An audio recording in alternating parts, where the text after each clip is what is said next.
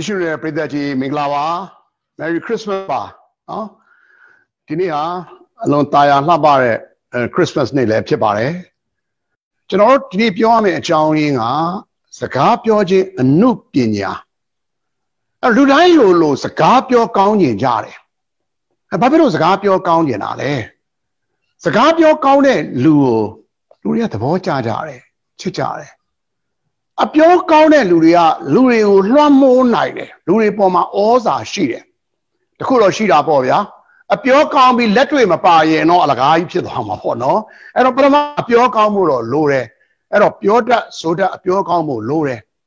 အဲ့တော့မေးကျင်စရာရှိတဲ့မေးခွန်းကဒီစကားပြောကောင်းမှုဆိုတာမွေးရပါလားမဟုတ်ပါဘူးနော်တချို့ကပြောကြတယ်စကားပြောကောင်းမှုပါရမီရှိဖို့လိုတယ်မဟုတ်ပါဘူး ဘယ်လိုလုပ်မွေးရပါဖြစ်မလဲဗျာမွေးကစားစကားတော့မပြောတတ်ဘူးเนาะနှစ်နှစ်နေမှကျွန်တော်တို့ကစကားပြောတတ်တာအဲ့တော့ဒါလေးနဲ့ပတ်သက်ရင်ကျွန်တော်ရဲ့အဖြစ်ပြက်လေးတစ်ခုကိုကျွန်တော်ဝေမျှခြင်းပါတယ်ကျွန်တော်ဆယ်တန်းကျောင်းသားဘဝတုန်းကစကေးလူပွဲမှာပါကျင်တဲ့လူတွေလက်ညှိုးထောင်ဆိုပြီးတော့အတန်းထဲမှာဆရာမပြောလိုက်ပါတယ်အဲ့တော့ကျွန်တော်ကစကေးလူပွဲမှာပါမယ်ဆိုကျွန်တော်လက်ညှိုးထောင်လိုက်ပါမယ် ဘုမလင်းပြောရမယ်တခါမှလည်းကျွန်တော်ဝင်စကေးလူပွဲမှာမပြိုင်ဘူးစကေးလူပွဲအဲ့တော့ကြည့်တော့မကြည့်ဘူးဘာမှတော့မသိဘူးဒါပေမဲ့ဘာလို့လက်ညှိုးထောင်လဲလို့မေးလို့ရှိရင်စကေးလူပွဲရဲ့ခေါင်းစဉ်ကကျောင်းသားများသည်ကျောင်းသူများတဲ့ကျောင်းစီကန်းကိုပုံမစောင့်ထိန်သည်ဆိုတဲ့အဆိုကိုကျွန်တော်တို့ယောက်ျားလေးတွေဘက်ကတင်ရမှာပါမိန်းကလေးတွေဘက်ကဒါကိုခြေရမှာပါအဲ့တော့အဲ့ဒီခြေတဲ့ဘက်မှာပါဝင်တဲ့မိန်းကလေးတယောက်က ကျွန်တော်ရဲ့ crush ဖြစ်နေလို့ကျွန်တော်ကပါလိုက်တာပဲเนาะရှင်းတယ်အဲ့တော့စကေးလူပဲနေရောက်လာတော့ကျွန်တော်ကဥဆောင်ပြီးတော့ associate အနေနဲ့ကျွန်တော်က15မိနစ်အဆိုသွင်းဖို့ကျွန်တော်မှာအချိန်ရပါတယ်ဘာပြင်ဆင်ထားသလဲလို့ပြောရင်ကျွန်တော်အနှဲငယ်တော့ပြင်ဆင်ထားပါတယ်ကိုကိုကိုလည်းယုံကြည်ချက်ကတိတ်ကြီးမားတဲ့လူကိုစင်မော်ရောက်လို့မိုက်ခရိုဖုန်းရှိရောက်လဲရောက်လိုက်ကောတက်လာတဲ့ចောင်းသားတွေចောင်းသူတွေကိုကြည့်ပြီးတော့ဒူးတွေတော့တုံသွားတယ် တူတူပြောလိုက်ရင်ကျွန်တော်9မိနစ်ပြောပြီးတော့ပြောစရာကုန်သွားပြီနောက်ပိုင်းကျွန်တော်ကြည်ဘူးတဲ့စကေလူဝဲတွေမှာအချိန်ပြည့်လို့ဒေါင်နဲ့ခောက်ရတာကျွန်တော်က9မိနစ်ပဲပြောရတယ်ကုန်သွားပြီပြောစရာမကြံတော့ဘူးအနောက်ဆုံးပြီကျွန်တော်ရက်လိုက်ရတယ်တူတူပြောရင်တော့ရေးလဲရှက်ခွဲတာပေါ့ဗျာလုံးဝရှက်ခွဲတဲ့ပွဲကြီးပါပဲကျွန်တော်ဘက်ကရှုံးလဲရှုံးပါတယ်ဒါပေမဲ့လည်းပဲနိုင်နာလေးတစ်ခုတော့ရှိတယ်ပေါ့ဗျာအဲ့ဒါတော့ကျွန်တော်မပြောတော့ပါဘူးเนาะ အဲ့တော့ဘာလို့ကျွန်တော်ပြောချင်တာလဲကျွန်တော်တို့ဟာစကားပြောကောင်းဖို့ဆိုတာကတော့ဒီနေ့ထလို့ဒီနေ့တော့ဘလို့မှမဖြစ်နိုင်ပါဘူးအဲ့ဒါတော့သေချာတယ်အဲ့တော့ကျွန်တော်ဒီနေ့ဘာပြောမလဲစကားပြောကောင်းတဲ့လူဖြစ်ဖို့အတွက်လိုအပ်တဲ့အချက်၃ချက်ကျွန်တော်ပြိဿနဲ့ဝေမျှသွားပါမယ်စကားပြောကောင်းနေတဲ့လူတွေလိုက်ရေးဖို့အစဉ်သင်းဖြစ်ပြီလို့ထင်ပါတယ်နံပါတ်1ချက် စကားပြောကောင်းခြင်းရင်တော့အဲ့ဒီစကားပြောရတဲ့ပတ်သက်ရင်ယူသဖို့လိုပါတယ်ကျွန်တော်ယူသရပါမယ်စကားပြောတယ်ဆိုတာအမှုပညာပဲအမှုပညာဆိုတာကျွန်တော်တို့သင်္ချာမဟုတ်ဘူးနော်သင်္ချာဆိုတာ3နဲ့5မြောက်ရင်15ရတယ်အလီချက်ချင်းသင်ပေးလို့ရတယ်စန်တီဂရိတ်ကနေဖရန်ဟိုက်ကိုဘယ်လိုပြောင်းမလဲဆိုတော့ကျွန်တော် formula ချပေးလိုက်ရင်ချက်ချင်းတက်တယ်အမှုပညာဆိုတာဒီလိုမရဘူးနော်တချင်းဆိုတယ် အမှုပညာစာအုပ်ရေးတယ်အမှုပညာတရုပ်ဆောင်တယ်အမှုပညာဒီပကြီးဆွဲတယ်အမှုပညာပြန်စဉ်းစားကြည့်ပါပြိသက်ကြီးအမှုပညာတခုကိုဒီနေ့သင်ပေးလို့တတ်ဘူးနော်အမှုပညာဆိုတာယူသွတ်ဖို့လိုတယ်။ရောင်းနံပါတ်1ချက်ယူသွတ်ရပါမယ်။ဒုတိယအချက်ကတော့ဘာလဲလို့ပြောလို့ရှိရင်စကားပြောတတ်ချင်စကားပြောရပါမယ်။ပြောကိုပြောရပါမယ်။အခွင့်အရေးရတိုင်းပြောဖို့လိုပါတယ်။ ရေကူရချင်ရေထဲစင်မှာရေကူရပါတယ်။စကားပြောတတ်ချင်စကားပြောကိုပြောရပါလိမ့်မယ်။ဒါလေးနဲ့ပတ်သက်လို့လဲကျွန်တော်တို့ရဲ့လွတ်လပ်ရေးဖခင်ကြီးဗိုလ်ချုပ်အောင်စံအကြောင်းလို့နည်းနည်းဝေမျှချင်ပါတယ်။ကျောင်းသားသမက်ကမှာအဲ့ဒီအချိန်တုန်းကဥက္ကဋ္ဌဖြစ်တဲ့လူကထပြီးတော့စကားပြောလိုက်ပါတယ်ပြီးတဲ့အခါမှာဆွေးနွေးမဲ့လူဘယ်သူရှိမလဲဆိုတော့ဘုချုပ်ကလက်ထောင်ပါတယ်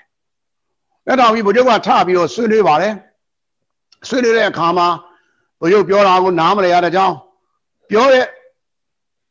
ဒီလေတန်တွေပြောတာတွေကိုလည်းပဲမကြိုက်တဲ့အတွက်ကြောင့်ကျောင်းသားတွေကအော်ကြဟစ်ကြတခါလဲစူကြအိုးရတယ်ဝိုင်းဟားကြတာပေါ့ဗျာအဲ့တော့ဘုရားကတော့ပြောစရာရှိတော့ပြောပြီးသွားပါတယ်ဘုရားပြောပြီးသွားတဲ့အခါမှာနောက်နေ့ကြတော့ဘုရားရဲ့တငယ်ချင်းကဘုရားကိုမေးပါတယ်ကောဆန်ခမည်းဟိုတနေ့ကခမည်းထပြောတာဗျာတော်တော်ညံ့နေတော့ ဟာကျွန်တော်သိတယ်တဲ့ကျွန်တော်ညံ့နေဆိုတာတဲ့ဒါပြင်မဲ့လို့တဲ့ကျွန်တော်ထမပြောရင်ကျွန်တော်မှအခွင့်အရေးရမှာမဟုတ်ဘူးတဲ့ကျွန်တော်ရတဲ့အခွင့်အရေးကျွန်တော်ထပြောတာတဲ့အဲ့ဒီနောက်ပိုင်းတော့ဘုချုပ်ဟာစကားပြောခြင်းကိုကောင်းတဲ့ကောင်းလာအောင်လေ့ကျင့်ပါတယ်ဒါကြောင့်လို့လည်းပဲပြည်သက်ကြီးသိတဲ့အတိုင်းပဲကျွန်တော်တို့ရဲ့လက်ဖခင်ရဲ့ဘုချုပ်အောင်ဆန်းရဲ့မိန့်ကုန်းတွေကိုနားထောင်လိုက်လို့ရှိရင်ကျွန်တော်စက်သိန်းဖြန်းဖြန်းအောင်ကျွန်တော်တို့ထားရပါတယ်ဘာလို့လဲလေ့ကျင့်တာပဲဒါကြောင့်မလို့ဒုတိယအချက်ကကျွန်တော်ပြောသလိုများများပြောဖို့လိုတဲ့အခွင့်အခါရှိတိုင်းပြောပါ ဥမာမွေးနေ့ဝဲလေးတစ်ခုလုပ်တယ်တကယ်ချင်းရဲ့မွေးနေ့ဝဲမှာကိုကစပြီးတော့တကယ်ချင်းကိုဆူတောင်းတဲ့စကားလေးကိုစပြောမယ်သို့မဟုတ်တယောက်ကိုစပြောခိုင်းမယ်ကိုလည်းကြရင်လည်းပြောမယ်ကြောင့်မလို့များများပြောဖို့အရေးကြီးပါတယ်တတိယချက်ကိုကျွန်တော်ဝေမျှပါမယ်တတိယအချက်ကတော့များများလေ့ကျင့်ဖို့လိုပါတယ်ခင်ဗျာလေ့ကျင့်မှသာလေစကားပြောကောင်းပါလိမ့်မယ်ကျွန်တော်စင်မော်တွေမှာ တက်မပြောခင်စပြောကစားအချိန်တွေတုန်းကကျွန်တော်ပြောချင်တဲ့အချက်တွေကိုကျွန်တော်စဉ်းစားပါတယ်ပြီးရင်ကျွန်တော်ချရေးပါတယ်ဘာတွေပြောချင်တယ်လဲဆိုတော့ချရေးပါတယ်ပြီးရင်ကျွန်တော်ပြန်ဖတ်ပါတယ်ပြန်စဉ်းစားပါတယ်ပြန်ပြင်ပါတယ်သုံးလေးကလောက်ပြင်ပြီးသွားတဲ့အခါမှာကျွန်တော်အဲ့ဒီဟာကိုကျွန်တော်ကတော့နည်းနည်းလေးအခွင့်အရေးလေးရှိတယ်ဗျဘယ်လိုအခွင့်အရေးရှိလဲလို့ပြောလို့ရှိရင်ကျွန်တော်ရဲ့ယုံမှာ ကျွန်တော်ရဲ့ဝန်ထမ်းတွေကိုနှစ်ပိုင်းခွဲလိုက်တယ်ကျွန်တော်တို့ကိုဟောပြောပဲလုပ်မယ်ဆိုကျွန်တော်ဖိတ်လိုက်တယ်ကျွန်တော်ဟောပြောပဲလုပ်မယ်လို့ဆိုရင်လေအာကျွန်တော်ဝန်ထမ်းတွေကတိတ်ပျော်တာဗျကျွန်တော်ဟောပြောပဲကိုတက်ရမှာဘာဖြစ်လို့လဲဆိုတော့ကျွန်တော်ဟောပြောပဲပြီးအမြဲတမ်းထမင်းကျွေးတယ်လေသူတို့ကပျော်တာပေါ့အဲ့တော့ဟောပြောပဲလုပ်တယ်ကျွန်တော်တို့ကိုပြောတယ်ပြောတဲ့အချိန်မှာကျွန်တော်ဘာလုပ်တယ်အဲ့ဒီခေတ်တုန်းကနော်လွန်ခဲ့တဲ့14ငါးနှစ်တုန်းကကျွန်တော်တို့နိုင်ငံမှာဒီ smartphone တွေကလည်းမပေါ်သေးဘူးကျွန်တော်ဘာသုံးရလဲကျွန်တော်ဒါလေးတွေကျွန်တော်သုံးရတယ် နော်ဒါဆိုရင်တော်တော်ဟောင်းနေပြီကျွန်တော်သုံးခဲ့တာဘာလဲအတန်ဖမ်းတဲ့စက်ကလေးတွေအဲ့ဒီစက်ကလေးတွေကိုကျွန်တော်အိတ်ထဲမှာထည့်ပြီးကျွန်တော်ပြောတာကိုကျွန်တော်အတန်ဖမ်းရတယ်ဖမ်းပြီးတော့ကျွန်တော်ပြန်နားထောင်တယ်ကျွန်တော်နားထောင်ပြီးတဲ့အခါမှာကျွန်တော်အဲ့ဒီအတန်ဖမ်းဆက်တဲ့ကိုကျွန်တော်နောက်တစ်ခါကျွန်တော်ပြန်ပြောတယ်ပြောပြီးတော့ကျွန်တော်နောက်တစ်ခါနားထောင်တယ်နောက်တစ်ခါကျွန်တော်ပြန်ပြောတယ်နောက်တစ်ခါနားထောင်တယ်အချင်းချင်းကျွန်တော်လေ့ကျင့်ပါတယ်လေ့ကျင့်ပြီးတော့မှကြံတဲ့ယုံကနောက်တစ်ခါကိုကျွန်တော်ထပ်ခေါ်တယ် ခေါ်ပြီးတော့တခါနောက်တစ်ခါရဟာဇယ်ထပ်ပြောပါတယ်အဲ့တော့ကျွန်တော်စင်မော်မတက်ခင်မှာကျွန်တော်အချိန်ချင်းလေ့ကျင့်ပါတယ်ပါရမီဆိုတာမွေးကလေးကဘယ်သူမှမပါပါဘူးပါရမီဆိုတာခမားဘလောက်လေ့ကျင့်တယ်လဲဆိုရင်ဓာတ်ရိုက်အချိုးကြပါတယ်များများလေ့ကျင့်လေပါရမီရှိလေပဲစကားပြောခြင်းပါရောက်လို့ကျွန်တော်သုံးချက်ပြောခဲ့ပါတယ်နံပါတ်1ယူသွတ်ဖို့လိုပါတယ် များများပြောဖို့လိုပါတယ်အခွင့်အရေးရှာပါများများပြောပါအဲ့ဒီလိုပြောတတ်အောင်အထပ်တလဲလဲထပ်တလဲလဲထပ်တလဲလဲလေးချက်ပါဒါဆိုရင်တော့စကားပြောကောင်းတဲ့သူတွေဖြစ်လာပါလိမ့်မယ်နောက်ထပ်ဝေမျှခြင်းတဲ့၅ချက်ကတော့စကားပြောကောင်းတဲ့လူတိုင်းလိုက်နာတဲ့အချက်၅ချက်ကိုကျွန်တော်ဝေမျှသွားပါမယ်နံပါတ်၁ချက်စကားပြောကောင်းတဲ့လူတွေဟာအမြဲတမ်းလိုလို အဖြစ်အပျက်လေးတွေကိုပြောလို့ရှိပါတယ်အဲ့ဒီအဖြစ်ပြက်လေးတွေကနေပြီးတော့သင်ခန်းစာတွေကိုထုတ်သွားပါတယ်အင်္ဂလိပ်ကတော့ story telling လို့ပြောပါတယ် story telling ကိုကျွန်တော်တို့ကဘာသာပြန်လိုက်လို့ရှိရင်ပုံပြင်လေးတွေကိုပြောတယ်လို့ပြောကျွန်တော်ပုံပြင်ဆိုတာကိုကျွန်တော်သဘောမကျဘူးဗျာဒါပေမဲ့ကျွန်တော် story telling ကိုကျွန်တော်ဘယ်လိုဘာသာပြန်လိုက်မလဲအဖြစ်အပျက်လေးတွေကိုကျွန်တော်တို့ပြောပြရမယ်အဲ့ဒီတော့ကျွန်တော်ခုနကပြောပြပြီးပြီကျွန်တော်10တန်းကျောင်းသားဘဝမှာကျွန်တော်စင်မော်တက်ပြီးပထမအဆုံးစကားပြောတယ်ကိုယ်ပါပဲ ဘာဖြစ်လို့ကွဲလဲကျွန်တော်မှအတွေ့အကြုံမရှိဘူးနောက်တစ်ခုကကျွန်တော်ရဲ့ရီမန်းချက်ကဟဲ့တော်တော်ခိုင်မာတယ်လေ cross fit တဲ့လူပါလို့တက်ပြောတာအဲ့တော့ကျွန်တော်တို့ကယူသွရမယ်မြတ်မြတ်ပြောရမယ်လေ့ကျင့်ရမယ်အဲ့တော့နံပါတ်1ကတော့ဘာလဲအဲ့လိုပြောတဲ့အခါမှာအဖြစ်ပြက်လေးတွေပြောရမယ်ကျွန်တော်ခုနကကျွန်တော်ရဲ့ဆယ်တန်းအဖြစ်ပြက်လေးကိုကျွန်တော်ပြောသွားပြီးပြီဒါကြောင့်မလို့အဖြစ်ပြက်လေးတွေပြောမယ်အဖြစ်ပြက်လေးတွေပေါ်ကနေကျွန်တော်တို့သင်ခန်းစာကျွန်တော်တို့ထုတ်ဖို့လိုပါတယ်။ ကြောင့်လို့စကားပြောကောင်းရင်တဲ့လူဟာ၅ချက်တည်းမှာဒီတစ်ချက်ကိုတော့ကောင်းကောင်းကျွမ်းကျင်အောင်လေ့ကျင့်ဖို့လိုပါတယ်။ဒုတိယချက်ကတော့ကျွန်တော်တို့ကရည်စရာဟာတာလေးလည်းတုတ်နေရနဲ့သူပြောတတ်ဖို့လိုပါတယ်လက်ခုပ်ရယုံရည်ရရင်ပြီးရောဆိုတဲ့ပုံစံနဲ့တော့ကျွန်တော်တို့ပြောလို့မရပါဘူးသူ့နေရာနဲ့သူဟာတာကိုပြောတတ်ဖို့လိုပါတယ်ဒါနဲ့ပတ်သက်ရင်လည်းအင်မတန်ကြော်ကြားခဲ့တဲ့နိုင်ငံရေးသမားတယောက်က သူ့ရဲ့ဟောပြောပွဲမှာသတင်းစာရှင်းလင်းပွဲမှာသတင်းစာဆရာတယောက်ကသူပြောတာကိုသဘောကျလို့ဖဏနဲ့ကောက်ပေါက်ပါတယ်ကောက်ပေါက်တော့သူကဖဏကိုကောက်ကြည့်ပါတယ်ကောက်ကြည့်ပြီးတော့ဗာပြောလိုက်လေဟာတဲ့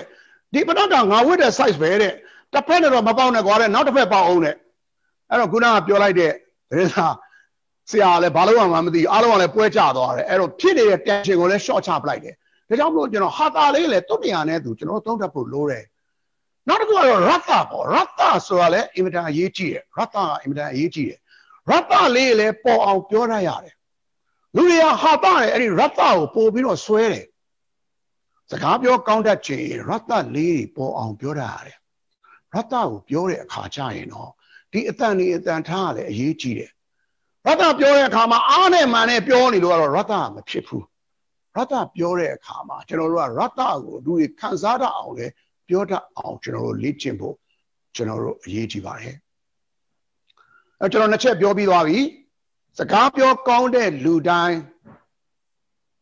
ပိုင်ဆိုင်ရမယ်အချက်၅ချက်စကားပြောကောင်းတဲ့လူတိုင်းဒီ၅ချက်ကိုပိုင်ဆိုင်တယ်နံပါတ်1ကဖြစ်ပျက်လေးတွေပြောနိုင်ရမယ်သင်္ကန်းစာထုတ်နိုင်ရမယ်ဒုတိယချက်ကဟာတာလေးတွေပြောတတ်ရမယ်ရတ္တလေးတွေပြောတတ်ရမယ်ဆရာဒါပြင်ဟာတာပြောတတ်အောင်ဘယ်လိုလုပ်မလဲရတ္တပြောတတ်အောင်ဘယ်လိုလုပ်မလဲ ကျွန်တော်ကတော့လူရှင်တော်တွေပြက်တဲ့လူပြက်ပြက်လုံးတွေထိုင်နာထောင်လာပဲအဲ့ဒီကနေကျွန်တော်တို့ကကျွန်တော်တို့ကုံချမ်းနေရတယ်ဝင်းစာတွေရတယ်ရတ္တနဲ့ပတ်သက်ရင်လည်းကျွန်တော်စာတွေဖတ်ပါစာအုပ်တွေများများဖတ်မယ်ကိုယ့်ပတ်ဝန်းကျင်မှာဖြစ်နေတဲ့ဖြစ်ပျက်တွေကိုလေ့လာမယ်ဆိုရင်ကျွန်တော်တို့ကပြောစရာရတ္တတွေအများကြီးကျွန်တော်တို့ရလာပါလိမ့်မယ်နံပါတ်3ချက်ကကျွန်တော်တို့အရေးကြီးပါတယ်စကားပြောလိုက်တဲ့အခါမှာ စကလုံးရဲ့အရေးပါမှုသုံးလိုက်တဲ့စကလုံးရဲ့အရေးပါမှုဟာခုနှစ်ရာခိုင်နှုန်းပဲစကားပြောလိုက်တဲ့အခါမှာပါဝင်အရေးပါပါတယ်ဒုတိယအရေးပါတာကတော့ဘာလဲလို့ပြောလို့ရှိရင်ပြောတဲ့အတန်နေအတန်တာကျွန်တော်တို့ဖြစ်ပါတယ်အဲ့တော့အတန်နေအတန်တာဟာ38ရာခိုင်နှုန်းအရေးပါပါတယ် အရေးပါမှုအများဆုံးကတော့ဘာလဲလို့ပြောလို့ရှိရင်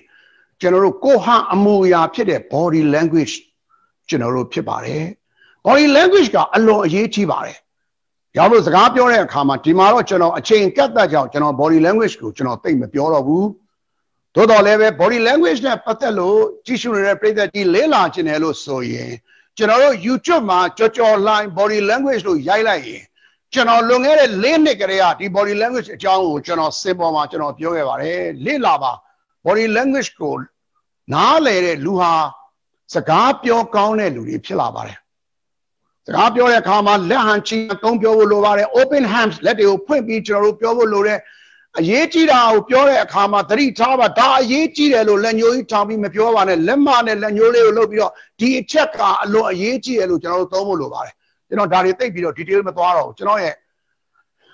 YouTube ကဗီဒီယိုကြည့်ရင် body language အကြောင်းသိပါလိမ့်မယ်ဒါကြောင့်မလို့စကလုံးဟာခုနှစ်ရာခိုင်နှုန်းပဲရေးကြည့်ပါတယ်တုံးကတော့ခုနအတန်နေအတန်ထားကတော့38ရာခိုင်နှုန်းရေးကြည့်ပါတယ် body language ကတော့55ရာခိုင်နှုန်းရေးကြည့်ပါတယ်ဘိုးကျော်မိန်ကုန်းပြန်ကြည့်ပါခမရတို့ကောင်းနေအောင်လုံးမရုံးမနောက်အနှစ်20ဆိုရင်တန်ရာကြမယ် ဒီလိုမကြောက်ရဘူးဆိုရင်ဖာနိုင်ငံဖြစ်သွားလိမ့်မယ်အဲ့တော့စကလုံးတဲ့ဘိုးချုပ်တုံးသွားတဲ့ထုံးဘိုးချုပ်ပြောသွားတဲ့အတန်နေအတန်ဓာတ်ဟာသူ့ရဲ့စကလုံးတွေရဲ့အားကောင်းမှုကိုသွားပြီးတော့အထောက်အကူကျွန်တော်တို့ပြုပါတယ်ဒါကြောင့်မလို့အတန်နေအတန်ဓာတ်ဘယ်နေရာမှာအော်ပြောမယ်ဘယ်နေရာမှာရှော့ပြောမယ်ဘယ်နေရာမှာဘယ်လိုလေတံနဲ့ပြောမယ်ဆိုတာလေ့ကျင့်မှာလေ့ကျင့်မှာဒါတွေကရပါတယ်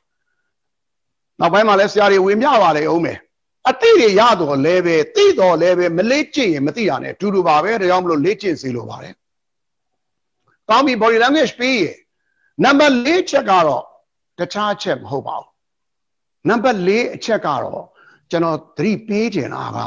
စကားပြောကောင်းကျင်တဲ့လူတွေဟာအဲ့ဒီ PowerPoint တွေကိုဖြုတ်ပလိုက်ပါ PowerPoint သုံးတယ်ဆိုတာကိုအားနာအားနေတာကိုပြတာပဲ စကားပြောကောင်းတဲ့လူတွေဟာဘာ PowerPoint မှာမသုံးဘူးဒါနဲ့ပတ်သက်လို့လည်းပဲခမည်းတော်တွေအမားတွေကိုကြည့်ကြည့်လွယ်လွယ်လေးပဲလွတ်တော် channel ကိုကြည့်လိုက် PowerPoint သုံးခွင့်ပြုပါကြည့်လိုက်တယ်ဗျာစာရီရွေးထိုးနေတယ် PowerPoint သုံးတယ်ဆိုတာဘာအတွက်သုံးတာလဲပုံပြခြင်း PowerPoint ကိုသုံး graph ကိုပြခြင်း PowerPoint ကိုသုံးဒီလိုနေရာတွေမှာပဲကျွန်တော်တို့သုံးလေးရှိတယ်စာကိုဘယ်သူမှ PowerPoint နဲ့သုံးတယ်ဆိုတာမရှိဘူး ဒါကြောင့်မလို့ PowerPoint သုံးတာတွေကိုရှောင်ပါစကားပြောကောင်းကြည့်ရင် PowerPoint မသုံးဘဲနဲ့ပြောနိုင်အောင်ကြိုးစားပါနောက်ဆုံးချက်ကိုကျွန်တော်ပြောပါမယ်ကျွန်တော်လေးချက်ပြောပြီးသွားပြီပြည်သက်ကြီးမှတ်မိလားတော့မသိဘူးဗျာမှတ်မိရဆိုရင်လည်း comments ပါအဲ့လေးချက်လေးကိုရေးသားပါနော်မှတ်မိရဆိုရင်ရေးသားပါ comments ပါခရောင်းနဲ့ပြန်တိုက်ကြည့်အောင် နံပါတ်1ချက်အဖြစ်အပျက်လေးတွေကိုပြောပါသင်ခန်းစာထုတ်ပါနံပါတ်2ချက်ရည်စရာလေးတွေသူ့နေရာနဲ့သူသုံးပါရတ္တတွေကိုပေါ်အောင်ပြောပါနံပါတ်3ချက် body language ကအရေးကြီးတယ်အတန်နေအတန်ထားအရေးကြီးတယ်ကိုသုံးတဲ့စကားလုံးကခုနှစ်ရာခိုင်နှုန်းပဲအကျုံးဝင်တယ်ခုနအချက်တွေကိုမပန့်ပိုးနိုင်ရင်ကိုပြောတဲ့စကားလုံးကအလကားဖြစ်သွားလိမ့်မယ်နံပါတ်4ချက်ကတော့ ကျွန်တော်ပြောခဲ့တာပါလဲ PowerPoint တွေကိုအနည်းဆုံးသုံးပါအနည်းဆုံးသုံးပါရုပ်ပုံတွေကိုပြခြင်းလဲ graph တွေကိုပြခြင်းရင်တော့ပါဇက်နဲ့ပြောရတာခက်တယ်လေဒီလိုနေရာမှာတော့သုံးပေါ့စာရိုက်ပြီးတော့ PowerPoint နဲ့မသုံးပါနဲ့ဗျာเนาะစကားပြောကောင်းတဲ့လူတွေကဘယ်တော့မှစာတွေရိုက်ပြီး PowerPoint နဲ့မပြဘူးဗျကျွန်တော်နောက်ဆုံးချက်ကိုဝင်ပြပါမယ်အစင်းသင်းဖြစ်ပြီလား နောက်ဆုံးချက်ကတော့ဘာလဲလို့ပြောရင်စကားပြောတဲ့အခါမှာဘလောက်ကြာကြာပြောရမလဲဆိုတဲ့တကျွန်တော်ဝေမျှချင်ပါတယ်ဘလောက်ကြာပြောရမလဲဆိုရင်အဖြစ်ပြလေးတစ်ခုပြောပြချင်ပါတယ်နော်1863ခုနှစ်1863ခုဆိုတော့ဒီနေ့ကနေစပြီးကျွန်တော်တို့ပြန်ရင်လွန်ခဲ့တဲ့150နဲ့ခုနှစ်ကပေါ့ဗျာအမေရိကန်နိုင်ငံ Gettysburg ဆိုတဲ့မြို့မှာ အေဗရာဟမ်လင်ကွန်းပြောခဲ့တဲ့မိန့်ခွန်းဟာကဘာကျော်မိန့်ခွန်းဖြစ်ခဲ့ပါတယ်ယနေ့တိုင်း